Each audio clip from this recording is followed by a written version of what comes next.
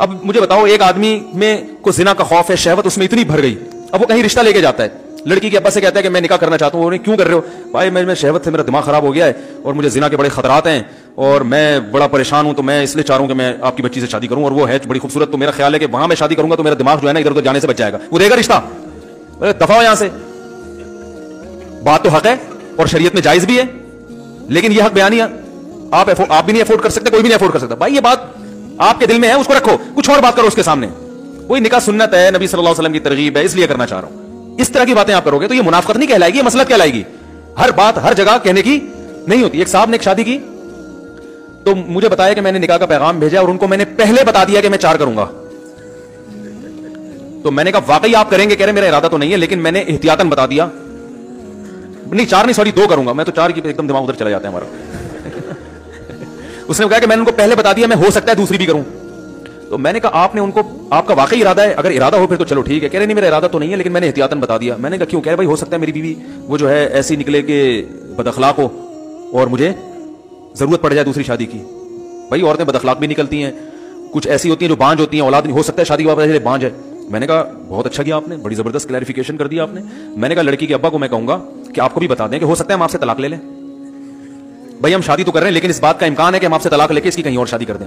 आप पूछो क्यों? भाई हो सकता है आप चरसी निकलो। क्या ख्याल है? आप कौन मैं तो चरसी पीता मेरा लेबोरेटरी टेस्ट करवा लें। भाई हो सकता है बाद में चरसी बन जाओ। हो सकने पर तो यार दुनिया में बहुत कुछ हो सकता है। अभी जो है उसके हिसाब से बात करो ना। मैंने कहा आपका इरादा है नहीं। खाम खामे वो रिश्ता तोड़ दिया उन्होंने। वो बिल्कुल सही किया लड़की के अब्बा ने। बहुत अच्छा किया तोड़ दिया। मैंने कहा कोई भी होता रिश्ता तोड़ता है। बेला वजह हो सकता है हो सकता है। एक साहब थे वो पोलियो के खतरों के बहुत खिलाफ थे। मेरे दोस्त थे, थे क्या हैं अभी भी?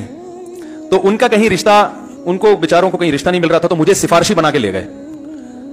कहीं कोई लड़की का रिश्ता आया उनके लिए तो मुझे सिफारशी बना के ले गए कि आप भी चलें, थोड़ा था आप थोड़े से मशहूर आदमी हैं तो मेरी सिफारिश कर दिया गया तो चांस ज़्यादा है। मैंने कहा, चल भाई, ठीक है, ले चलते हैं। हम चले गए वहाँ तो वो लड़की के वालिद, भाई वगैरह आके बैठे। मुझे बड़ी इज़्ज़त दी उन्होंने। मैंने कहा हमारे दोस्त हैं निकाह करना चाहते हैं, आपकी बच्ची से इस सिलसिले में हाजिर हुए थे। उन्होंने कहा, ठीक है जी, भी एजुकेशन क्या है? वगैरह वगैरह, जो पूछा जाता है। इस दौरान फिर जब बात मुकम्मल हुई तो वो कहने लगे, देखें, मैं जब निकाह करूँगा तो मैं पहले ही बात बता दूँ कि मैं बच्चों को पोलियो के खतरे नहीं पिलाऊँगा।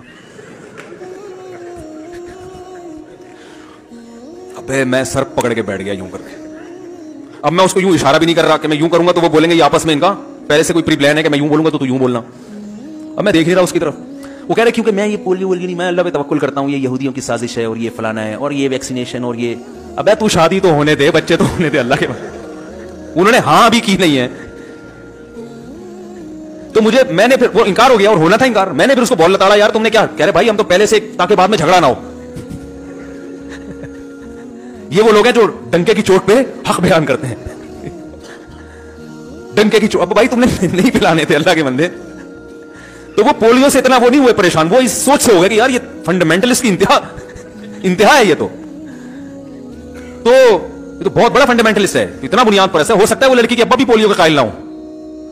लेकिन इतना पोलियो लेस तो हर चीज़, हर बयान करने की नहीं होती, बहुत सारी चीज़ें ठीक आपकी राय में ठीक होती हैं।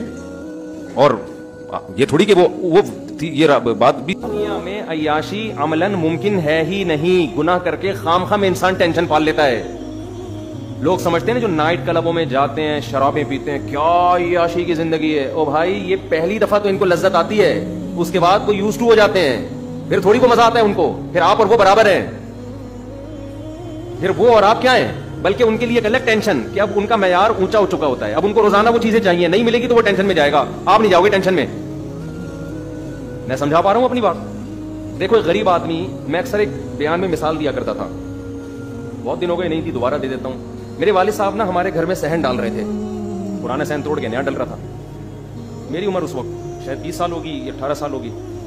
तो मैं मजदूरों को देखता था कि यार, वो सुबह सुबह आते हैं, बड़ी मेहनत करते हैं और शाम के वक्त ना बड़ा पसीना वसीना निकला होता है और बड़े खुश होते थे शाम के वक्त को तो जब सहन डल रहा था ना तो वो फर्श को नहीं, वो रगड़ाई कर रहे होते तो वो बड़ी मस्ती में थे, मजदूर लोग। मैं उनको देखता था, यार, ये कितने खुश हैं।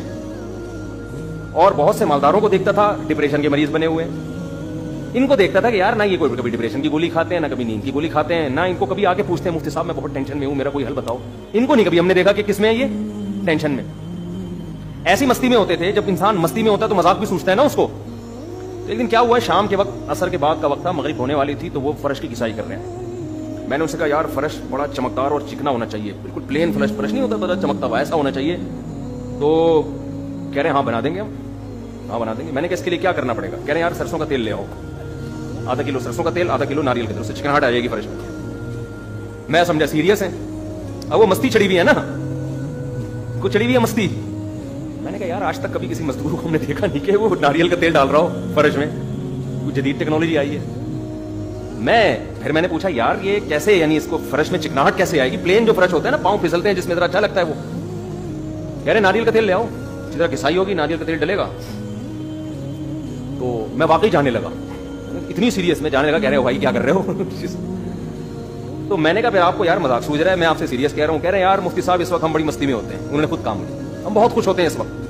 अच्छा सॉरी मुफ्ती साहब तो नहीं मुझे उस वक्त कहते थे, वैसे ही मौलवी साहब, या कुछ भी नाम ले लिया होगा मुझे याद नहीं क्या कहा उन्होंने हम बड़ी मस्ती में होते हैं इस वक्त। मैंने कहा, खैरियत क्यों? कह रहे, हम सुबह से थके हुए होते हैं। इस वक्त हमें मिलती है दिहाड़ी। थकावट से हाल होता है बुरा घर में बच्चे इंतज़ार कर रहे होते हैं, बीवी बच्चे। मगरिब के बाद हम घर जाएँगे, नहाएँगे, धोएँगे साफ़ सुथरे कपड़े पहनेंगे। बेगम साहिबा ने खाना तैयार करके रखा होगा, मंजी पे बैठ के खाएँगे। मंजी नहीं होती। गद्दे वद्दे मोल्टीफोम मोल्टीफोम नहीं होता। और मंजी पे भी मैं एक बयान कर चुका हूँ। मोल्टीफोम में ऊपर से हवा लगती है, नीचे से हवा नहीं लगती गरीब की चारपाई में ऊपर से भी हवा लगती है और नीचे से भी हवा लगती है। हकीकत है, उसमें बड़ा मज़ा है। मैं तो जब भी सफ़र में जाता हूँ ना, ये जो ढाबे के होटल होते हैं ना, कच्चे, मंजी, वहाँ बैठ के खाता हूँ मैं। कोशिश यही करता हूँ। उनकी भिंडी में बड़ा जायका होता है और हवा नीचे से भी लग रही होती है, भी बड़ा फ़ायदा होता है। तो खैर, कह रहे हैं, यार, अभी हम जाएँगे, नहाएँगे, घर वाली सालन ला के खाना ला के भूख उनको टाइट लग रही होती है ना। मेहनत की है पसीना बहाया भूख से हालत खराब होती है। और बच्चे भी, भी इंतज़ार कर रहे होते हैं। और मगरब के बाद कहते हैं हम खाएँगे ईशा पढ़ के लंबे हो जाएँगे। मैं बार बार ये सोचता था कि यार ये किस कदर सुकून में है ये लोग? कितने सुकून इनको कोई गम नहीं है कि हम छोड़ के क्या जा रहे हैं बच्चों के लिए विरासत में। कोई डर नहीं है क्योंकि इनको पता बच्चे को भी इसी लाइन पे लगा देंगे। जो खुदा हमें खिला रहा है वो हमारे बच्चों को भी खिलाएगा। ना ये नस्ल रोकते हैं कि दो के बाद तीसरा हो गया तो कहाँ से खाएगा? इन्हें ये टेंशन नहीं है। ना इनको स्कूलों की फ़िक्र है कि बच्चे आला तालीम कहाँ से हासिल करेंगे? वो भाई मजदूर के बच्चे कर लें तो गरीबी है, नहीं करें। जैसे हम ज़िंदा है, हमारी ज़िंदगी खुशी से गुजर रही है, इनकी भी खुशी से। गुजर इन्होंने हकीकी माना में दुनिया को मुसाफिर खाना समझा है। इसलिए इनकी ज़िंदगी में सुकून है। और मालदार आदमी इस दुनिया को मुसाफिर सराइकी में ये लतीफा है असल में। देखो हिक चाट मरे सा सिद्धा थी से। ये मैंने एक लफ्ज सीखा है सराइकी का। अब किसी का मतलब ना पूछना, वो चमाट लगा देगा आपको खींच के। देखो हिक चाट मरे सा सिद्धा थिया वीसी तो ये किसी से कहना नहीं, वरना कोई गारंटी नहीं है। तो वो जो था ना, उसमें, उसने पहली सोची। उसने कहा, हुजूर, अब मुझे पूरी सराइकी तो आती नहीं ना, वो हमारे हज़रत सराइकी में सुनाते थे ये लतीफा, वो मज़ा सराइकी में ही खैर हिक मखलूक है, पूंछ घुमेंदी है, चूल्हे के गिर्द घूमती है तो मियाऊ मियाऊ करेंदी है। है भाई? पूछ, बिल्ली है ना सबको पता है भाई। और चूल्हे के गिर्द अक्सर घूमती है, और आखिर में कमबख्त ने यह भी बता दिया कि मियाऊ मियाऊ करेंदी है, कि यार ऐसा ना हो, ये कोई शेर और चीता को ले आए अब ये खोपड़ी इसकी काम नहीं कर रही ना। I Q? अब ये घंटा बैठ के सोच के कहता है, यार, किस मुझसे कह रहे कुकेड़, मुर्गा ना? अब ये जो चेला था ना, इसने बोला, अगर मैंने बोल दिया ना कि ये गलत है तो मेरी तो ऐसी की तैसी। और ये था डेढ़ होशियार ये अगर ये कह देता कि जी, ये जो है, क्या नाम है, सही जवाब दिया तो इसको ये शुभा था कि जो मेरा गुरु है, वो कहेगा कि ये शायद दो नंबर कर रहा है। तो इसने बड़ी चलाकी से काम किया। उसने बोला, हुजूर, लगता है किसी ने दसिया है। यानी इतनी मुश्किल पहली मैंने पूछी थी और आपने बिल्कुल दुरुस्त जवाब दिया, ये किसी ने यकीनन आपको बताया है? तो जवाब कहते हैं, नहीं अकुल की दौड़ है। अकल की दौड़ है, भाई।